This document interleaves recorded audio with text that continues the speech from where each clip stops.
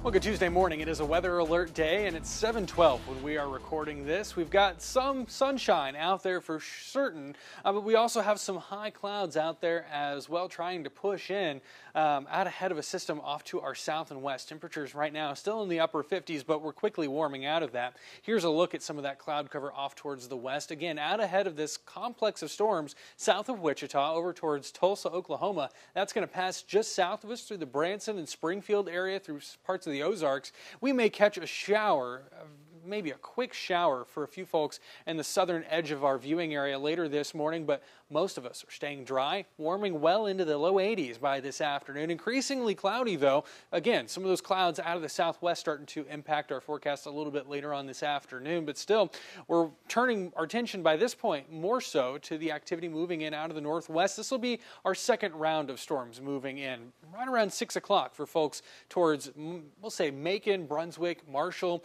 um, into Moberly to Columbia to Mexico closer to about 9 o'clock, and then that first round kind of moves away. Uh, then we're looking at uh, our second round moving in later on into the early morning hours. This is by about 3 or 4 o'clock on our western edge of our viewing area.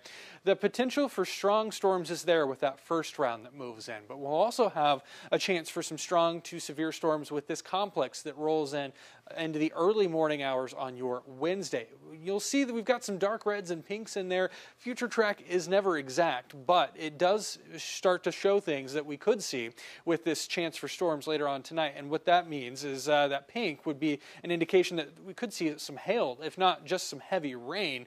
certainly some heavy rain with this, but the potential for hail and damaging winds are there. Uh, even more so, or I should say, um, it's still there as we head into the later morning hours, and this spreads further off towards the east as well. For folks to our south easternmost counties. That's uh, round two moving through uh, still at about 6 or 7 o'clock in the morning. So even after sunrise, we may see a few stronger storms. As uh, that complex passes off towards the east, we'll continue to see some drier conditions uh, and maybe even some sunshine by late morning, early afternoon. And then it's a pleasant afternoon for folks out there late in the day on Wednesday with highs maybe just a little bit cooler than what we saw today, thanks to all that rain throughout the morning. Heading into your Thursday, your Thursday is starting dry. We should keep dry conditions in the forecast for that day before we see more rain on Friday.